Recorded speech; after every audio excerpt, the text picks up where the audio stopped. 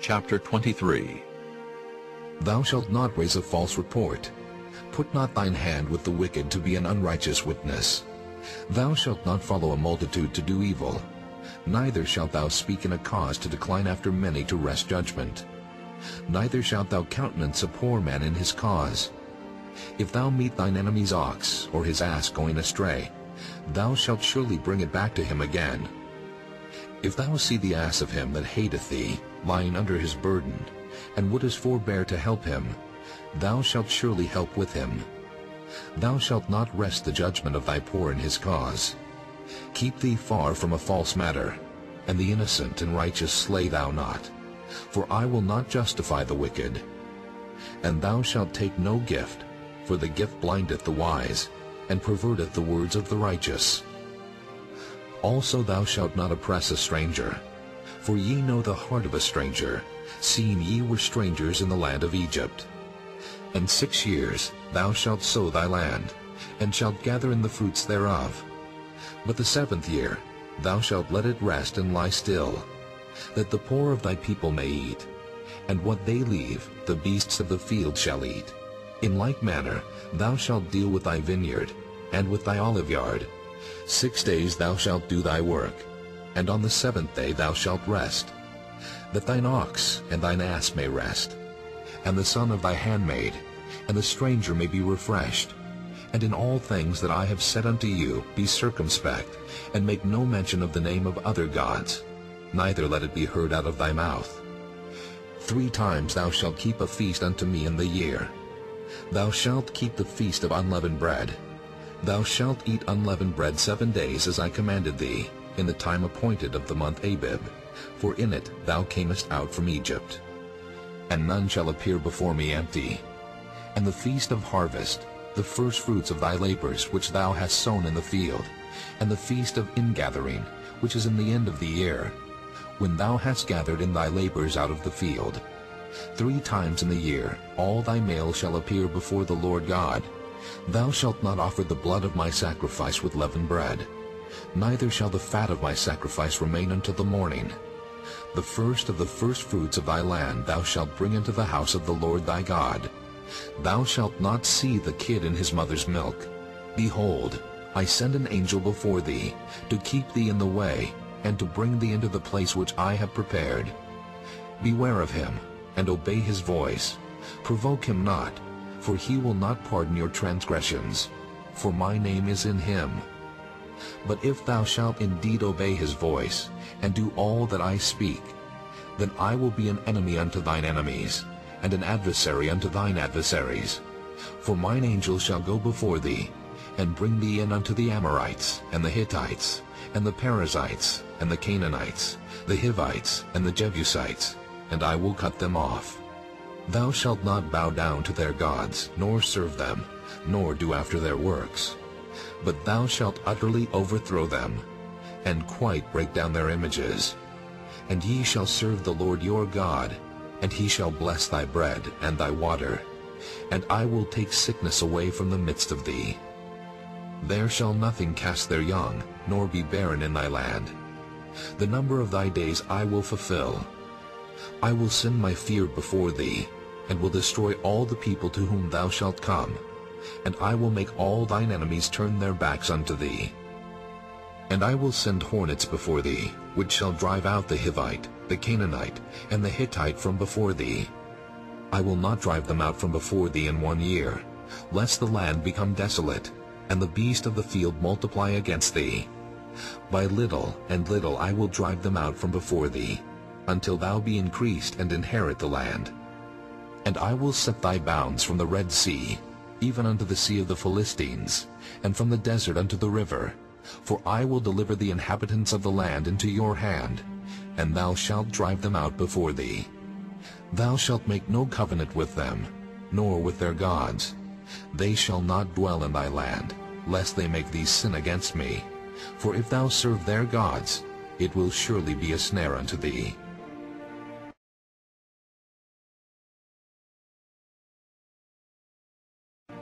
Chapter 24 And he said unto Moses, Come up unto the Lord, thou, and Aaron, Nadab, and Abihu, and seventy of the elders of Israel, and worship ye afar off.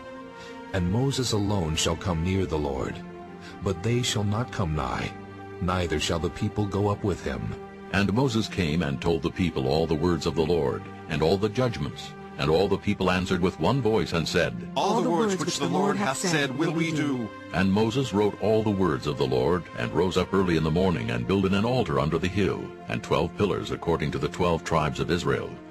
And he sent young men of the children of Israel, which offered burnt offerings, and sacrificed peace offerings of oxen unto the Lord. And Moses took half of the blood, and put it in basins, and half of the blood he sprinkled on the altar. And he took the book of the covenant, and read it in the audience of the people, and they said, All that the Lord hath said will we do, and be obedient. And Moses took the blood, and sprinkled it on the people, and said, Behold, the blood of the covenant, which the Lord hath made with you concerning all these words. Then went up Moses and Aaron, Nadab and Abihu, and seventy of the elders of Israel, and they saw the God of Israel. And there was under his feet as it were a paved work of a sapphire stone, and as it were the body of heaven in his clearness. And upon the nobles of the children of Israel he laid not his hand. Also they saw God, and did eat and drink. And the Lord said unto Moses, Come up to me into the mount, and be there, and I will give thee tables of stone, and a law and commandments which I have written, that thou mayest teach them. And Moses rose up, and his minister Joshua. And Moses went up into the mount of God, and he said unto the elders, Tarry ye here for us, until we come again unto you. And behold, Aaron and Hur are with you. If any man have any matters to do, let him come unto them. And Moses went up into the mount, and a cloud covered the mount. And the glory of the Lord abode upon Mount Sinai, and the cloud covered it six days. And the seventh day he called unto Moses out of the midst of the cloud. And the sight of the glory of the Lord was like devouring fire on the top of the mount in the eyes of the children of Israel. And Moses went into the midst of the cloud, and gat him up into the mount. And Moses was in the mount forty days and forty nights. Chapter 25 And the Lord spake unto Moses, saying, Speak unto the children of Israel, that they bring me an offering. Of every man that giveth it willingly, with his heart ye shall take my offering. And this is the offering which ye shall take of them, gold, and silver, and brass, and blue, and purple, and scarlet, and fine linen, and goat's hair, and ram skins dyed red, and badger skins, and shittim wood, oil for the light, spices for anointing oil, and for sweet incense, onyx stones, and stones to be set in the ephod, and in the breastplate. And let them make me a sanctuary, that I may dwell among them, according to all that I show thee, after the pattern of the tabernacle, and the pattern of all the instruments thereof. Even so shall ye make it. And they shall make an ark of shittim wood. Two cubits and a half shall be the length thereof, and a cubit and a half the breadth thereof, and a cubit and a half the height thereof. And thou shalt overlay it with pure gold. Within and without shalt thou overlay it, and shalt make upon it a crown of gold round about. And thou shalt cast four rings of gold for it, and put them in the four corners thereof. And two rings shall be in the one side of it, and two rings in the other side of it. And thou shalt make staves of shittim wood, and overlay them with gold. And thou shalt put the staves into the rings by the sides of the ark, that the ark may be borne with them. The stave shall be in the rings of the ark. They shall not be taken from it. And thou shalt put into the ark the testimony which I shall give thee. And thou shalt make a mercy seat of pure gold. Two cubits and a half shall be the length thereof, and a cubit and a half the breadth thereof. And thou shalt make two cherubims of gold. Of beaten work shalt thou make them in the two ends of the mercy seat. And make one cherub on the one end, and the other cherub on the other end. Even of the mercy seat shall ye make the cherubims on the two ends thereof. And the cherubims shall stretch forth their wings on high, covering the mercy seat with their wings, and their faces shall look one to another. Toward the mercy seat shall the faces of the cherubims be. And thou shalt put the mercy seat above upon the ark, and in the ark thou shalt put the testimony that I shall give thee. And there I will meet with thee, and I will commune with thee from above the mercy seat, from between the two cherubims which are upon the ark of the testimony. of all things which I will give thee in commandment unto the children of Israel. Thou shalt also make a table of shittim wood. Two cubits shall be the length thereof, and a cubit the breadth thereof, and a cubit and a half the height thereof. And thou shalt overlay it with pure gold, and make thereto a crown of gold round about. And thou shalt make unto it a border of an handbreadth round about, and thou shalt make a golden crown to the border thereof round about.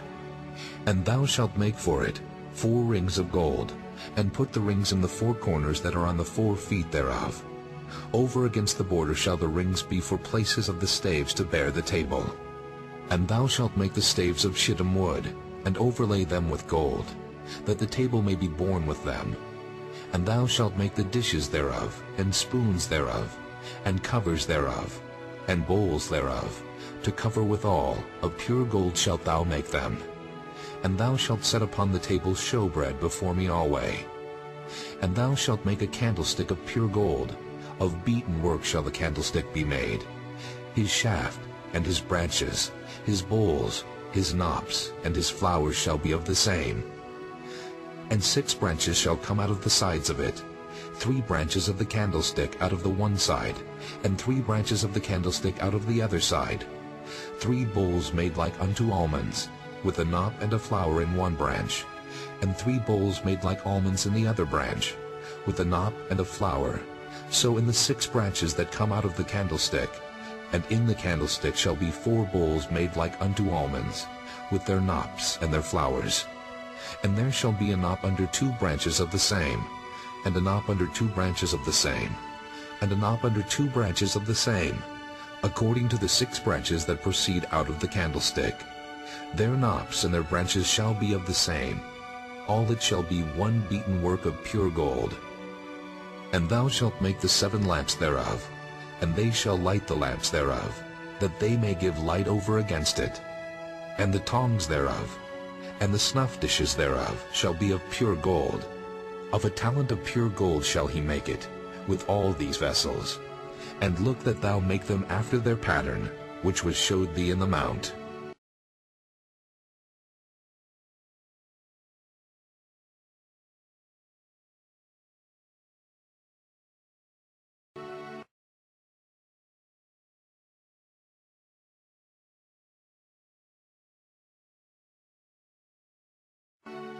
Chapter 26 Moreover, thou shalt make the tabernacle with ten curtains of fine twined linen, and blue, and purple, and scarlet. With cherubims of cunning work shalt thou make them. The length of one curtain shall be eight and twenty cubits, and the breadth of one curtain four cubits. And every one of the curtains shall have one measure. The five curtains shall be coupled together, one to another, and other five curtains shall be coupled one to another. And thou shalt make loops of blue upon the edge of the one curtain from the selvage in the coupling. And likewise shalt thou make in the uttermost edge of another curtain, in the coupling of the second. Fifty loops shalt thou make in the one curtain, and fifty loops shalt thou make in the edge of the curtain that is in the coupling of the second, that the loops may take hold one of another. And thou shalt make fifty tacks of gold, and couple the curtains together with the tacks, and it shall be one tabernacle. And thou shalt make curtains of goat's hair to be a covering upon the tabernacle. Eleven curtains shalt thou make. The length of one curtain shall be thirty cubits, and the breadth of one curtain four cubits. And the eleven curtains shall be all of one measure. And thou shalt couple five curtains by themselves, and six curtains by themselves, and shalt double the sixth curtain in the forefront of the tabernacle. And thou shalt make fifty loops on the edge of the one curtain that is outmost in the coupling, and fifty loops in the edge of the curtain which coupleth the second. And thou shalt make fifty tacks of brass, and put the tacks into the loops, and couple the tent together, that it may be one. And the remnant that remaineth of the curtains of the tent, the half curtain that remaineth, shall hang over the backside of the tabernacle. And a cubit on the one side, and a cubit on the other side of that which remaineth in the length of the curtains of the tent. It shall hang over the sides of the tabernacle, on this side and on that side to cover it.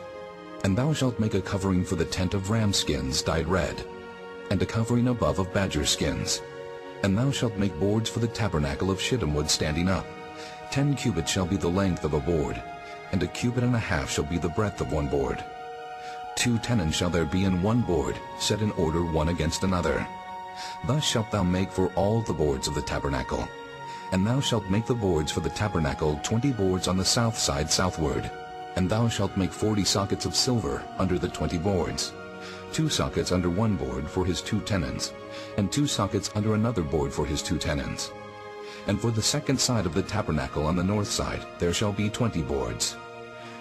And there forty sockets of silver, two sockets under one board, and two sockets under another board. And for the sides of the tabernacle westward, thou shalt make six boards. And two boards shalt thou make for the corners of the tabernacle in the two sides. And they shall be coupled together beneath, and they shall be coupled together above the head of it unto one ring.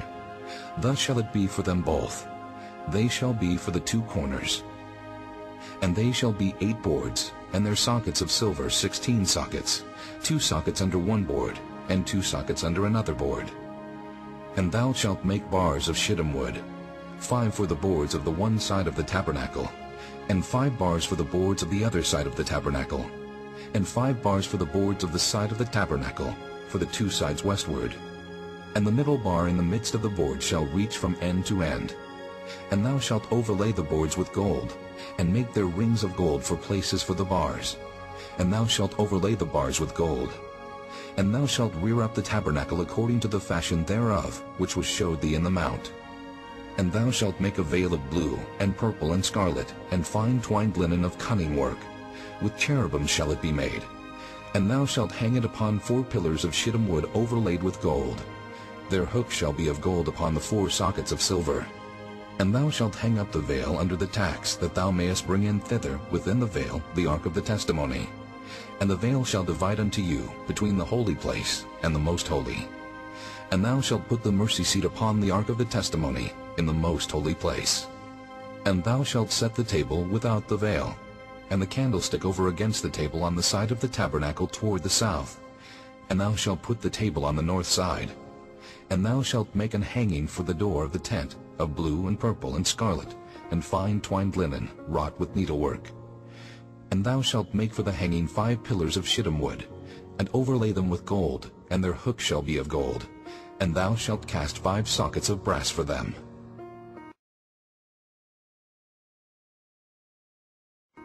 Chapter 27 And thou shalt make an altar of shittim wood, five cubits long, and five cubits broad.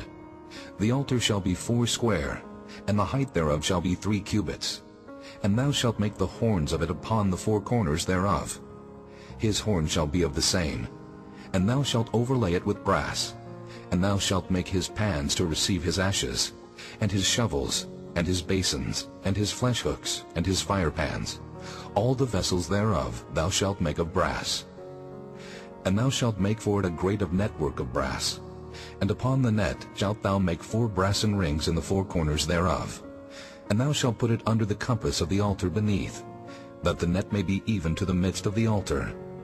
And thou shalt make staves for the altar, staves of shittim wood, and overlay them with brass.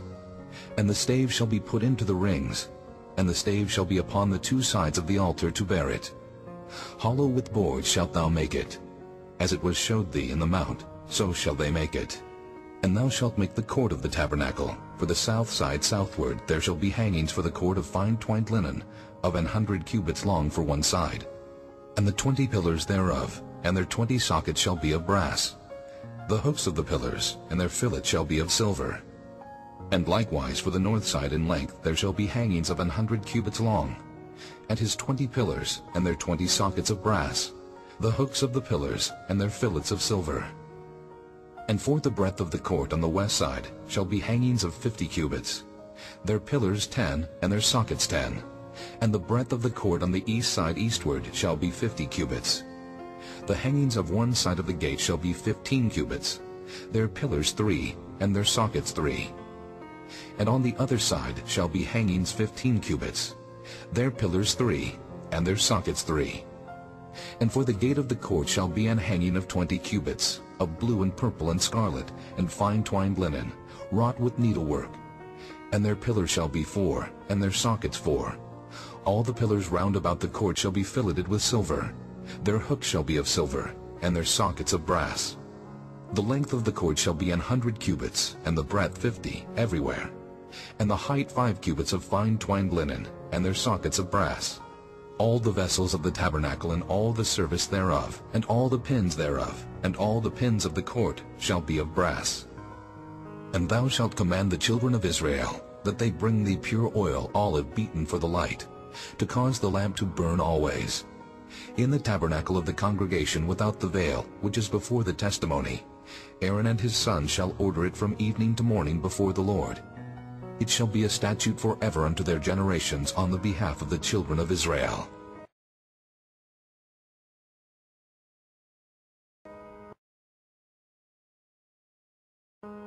Chapter 28 And take thou unto thee Aaron thy brother, and his sons with him, from among the children of Israel, that he may minister unto me in the priest's office, even Aaron, Nadab, and Abihu, Eleazar, and Ithamar, Aaron's sons. And thou shalt make holy garments for Aaron thy brother, for glory and for beauty. And thou shalt speak unto all that are wise-hearted, whom I have filled with the spirit of wisdom, that they may make Aaron's garments to consecrate him, that he may minister unto me in the priest's office. And these are the garments which they shall make, a breastplate, and an ephod, and a robe, and a broidered coat, a mitre, and a girdle. And they shall make holy garments for Aaron thy brother and his sons, that he may minister unto me in the priest's office. And they shall take gold and blue, and purple and scarlet, and fine linen. And they shall make the ephod of gold, of blue, and of purple, of scarlet, and fine twined linen with cunning work. It shall have the two shoulder pieces thereof joined at the two edges thereof, and so it shall be joined together. And the curious girdle of the ephod, which is upon it, shall be of the same according to the work thereof, even of gold, of blue and purple, and scarlet, and fine twined linen. And thou shalt take two onyx stones, and grave on them the names of the children of Israel, six of their names on one stone, and the other six names of the rest on the other stone according to their birth. With the work of an engraver in stone, like the engravings of a signet, shalt thou engrave the two stones with the names of the children of Israel. Thou shalt make them to be set in ouches of gold. And thou shalt put the two stones upon the shoulders of the ephod for stones of memorial unto the children of Israel. And Aaron shall bear their names before the Lord upon his two shoulders for a memorial. And thou shalt make ouches of gold, and two chains of pure gold at the ends, of wreathen work shalt thou make them, and fasten the wreathen chains to the ouches. And thou shalt make the breastplate of judgment with cunning work.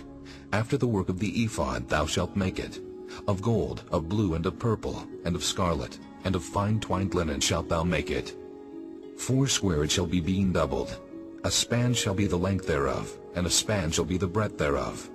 And thou shalt set in it settings of stones, even four rows of stones. The first row shall be a sardius, a topaz, and a carbuncle. This shall be the first row. And the second row shall be an emerald, a sapphire, and a diamond. And the third row, a ligure, an agate, and an amethyst. And the fourth row, a beryl, and an onyx, and a jasper. They shall be set in gold in their enclosings. And the stones shall be with the names of the children of Israel, twelve according to their names, like the engravings of a signet. Every one with his name shall they be according to the twelve tribes. And thou shalt make upon the breastplate chains at the ends of wreathen work of pure gold. And thou shalt make upon the breastplate two rings of gold, and shalt put the two rings on the two ends of the breastplate. And thou shalt put the two wreathen chains of gold in the two rings which are on the ends of the breastplate. And the other two ends of the two wreathen chains thou shalt fasten in the two ouches, and put them on the shoulder pieces of the ephod before it. And thou shalt make two rings of gold, and thou shalt put them upon the two ends of the breastplate in the border thereof, which is in the side of the ephod inward. And two other rings of gold thou shalt make, and shalt put them on the two sides of the ephod underneath, toward the forepart thereof, over against the other coupling thereof, above the curious girdle of the ephod. And they shall bind the breastplate by the rings thereof unto the rings of the ephod with a lace of blue, that it may be above the curious girdle of the ephod, and that the breastplate be not loosed from the ephod. And Aaron shall bear the names of the children of Israel in the breastplate of judgment upon his heart, when he goeth in unto the holy place, for a memorial before the Lord continually. And thou shalt put in the breastplate of judgment the Urim and the Thummim, and they shall be upon Aaron's heart when he goeth in before the Lord. And Aaron shall bear the judgment of the children of Israel upon his heart before the Lord continually. And thou shalt make the robe of the ephod all of blue, and there shall be an hole in the top of it, in the midst thereof. It shall have a binding of woven work round about the hole of it, as it were the hole of an habergeon, that it be not rent. And beneath, upon the hem of it, thou shalt make pomegranates of blue, and of purple, and of scarlet, round about the hem thereof, and bells of gold between them round about. A golden bell and a pomegranate, a golden bell and a pomegranate, upon the hem of the robe round about. And it shall be upon Aaron to minister, and his sound shall be heard when he goeth in unto the holy place before the Lord, and when he cometh out, that he die not.